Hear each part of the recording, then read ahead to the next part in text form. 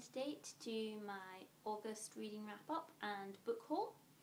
Um, I didn't get many books this month. Oh well, I got a lot at the start of the month while I was finishing up my work experience placement, um, but I talked about those in a separate blog, separate vlog, because there were quite a lot of them. So they've got their separate one.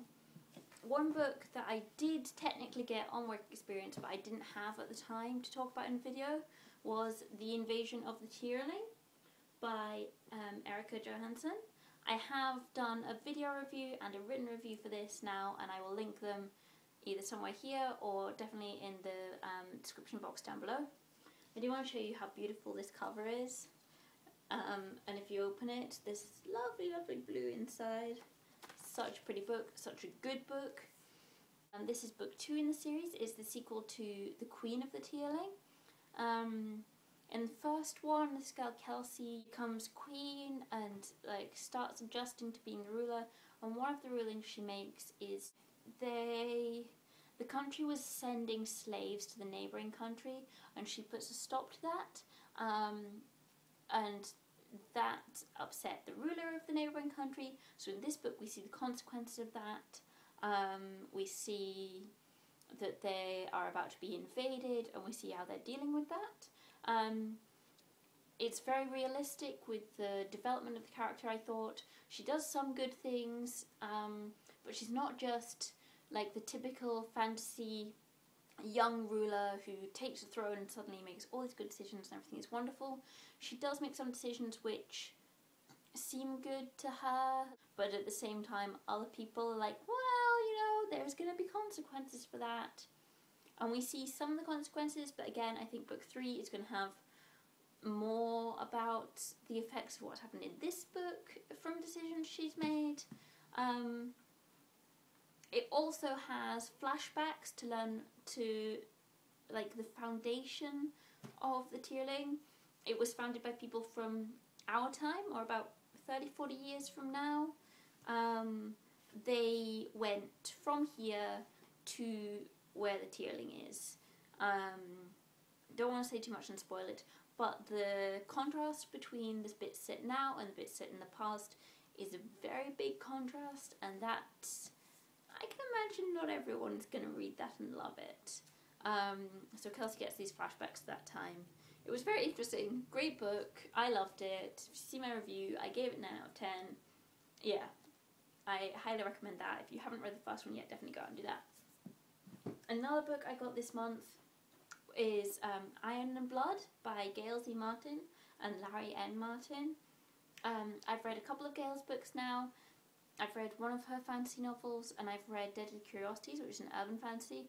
This one is more steampunk. It is set in Pittsburgh in 1898. Um, as with all steampunk, there are a lot of dirigibles and things like that. Lots of cool mechanical things.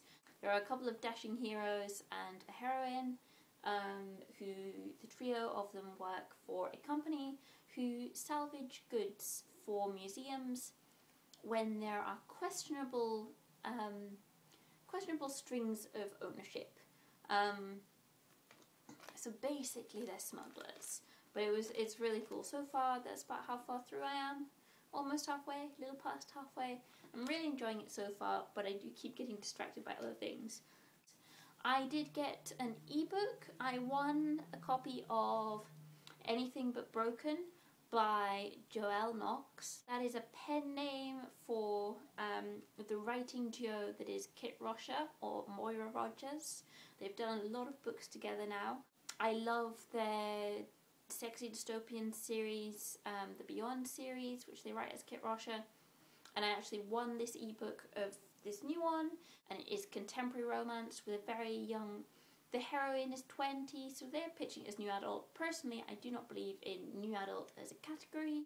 I'm not 100% sure of the age of the hero. He's older than her, but I don't know how much older. They've never explicitly said it. Um, but anyway, that one is very good. Um, it's about a girl who has come back to her hometown where she was a rich kid, um, but she was a rich kid whose sister died or killed herself. Again, it's not specifically stated. Her sister is gone and was quite messed up before she died. But now the girl Hannah is back in town because um, her parents were in a car accident. Um, so now she's essentially an orphan. She's basically had a really screwed up life. Um, but she comes back to town and meets Sean, who's a really nice guy. Um, except Hannah's not really had many interactions with guys before, and also Sean was her older sister's ex boyfriend um, from high school. So there's that little complication to it.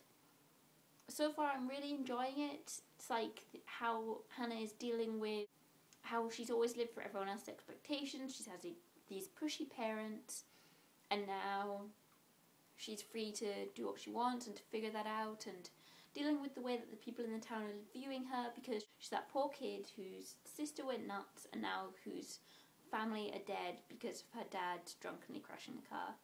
Um, so she's dealing with everyone's opinions and figuring out what she actually wants to do, and it's really good so far. That's it for the books I received this month. I did read a couple of others. Um, I finished reading The Silkworm way back at the start of the month, which is by Rob Galbraith. It's the second in his series. It's weird saying his if you don't know Robert Galbraith is the pen name that J.K. Rowling uses to write crime. I really enjoyed it. I do like the occasional crime novel now and again, sort of as a change. I don't think I'm going to write a review of it, to be honest. Um, if I encounter the sequel or the prequel to it, the first one is The Cuckoo's Calling, the third one, I can't remember what it's called, but it comes out soon.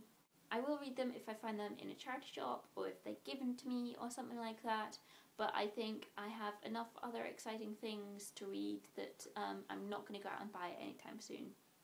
I read Harry Potter and the Chamber of Secrets again. I'm doing a Harry Potter reread, which has kind of stalled now that I'm in Glasgow because the other ones are back home.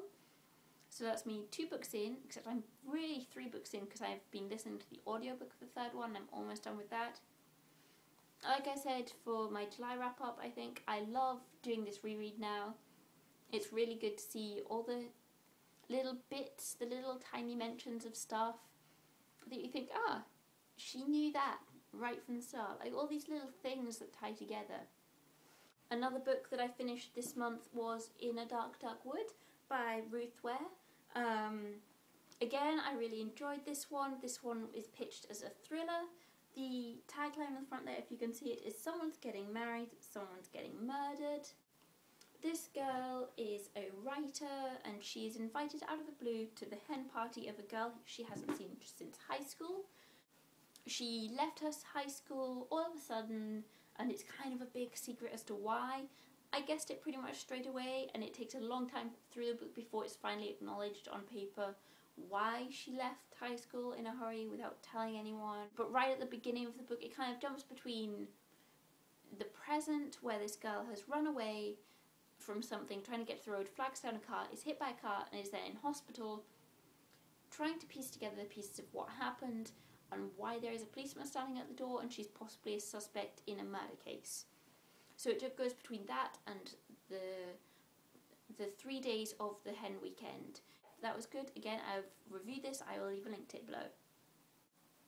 Um, also back at the start of the month, I read a Darker Shade of Magic by Victoria Schwab.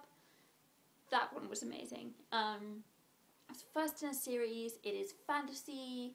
There are three different worlds, three different Londons, and the main character Kell has the ability to travel between them. Um, different worlds have different levels of magic, and you can't move. You're not allowed to move things between. Kell is about the only person um, from his world who he knows who can travel. He also knows someone from another London who is able to travel travel, but it's just the two of them that can move between the worlds. In one London, there is an awful lot of magic. In one, in another London, there's no magic at all, pretty much and in Kell's London it's kind of a good balance really. He smuggles objects between the worlds and basically he gets caught and is in a whole load of trouble because of that. Um, and I'm going to review this one soon and talk in a lot more detail about it then. The final book that I read this month, or finished reading this month, was I reread The Chimes at Midnight by Seanan McGuire. This is book seven in her October Daye series. Um, this is about a sort of fairy world. It's based in the San Francisco Bay Area, and the main character, October or Toby, um, is a changeling. She is half fae and half human.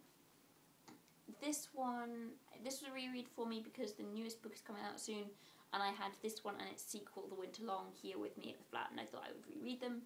The new book, A Red Rose Chain, has just come out, and I'm planning on reading it very, very soon. Um, don't want to say too much about this one because it is quite late in the series, but it was really good to reread it without like knowing. Obviously, no, she's five. So there are sequels, but knowing what bad things happen to which characters and who I need to be fearful for, and just to be a bit more relaxed reading it because I know it's coming. And also to pick up little details that I thought would be good to remember for the new book. So that was really good to read. Um, I have several books on go, but I haven't finished any others this month. Um, that was actually a lot more books to talk about than I thought it was going to be. Um, so that is my book haul and wrap up for August. I will talk to you soon. Please like, comment, and subscribe if you enjoyed this, and check out my other videos and the links that I will leave down below to my reviews.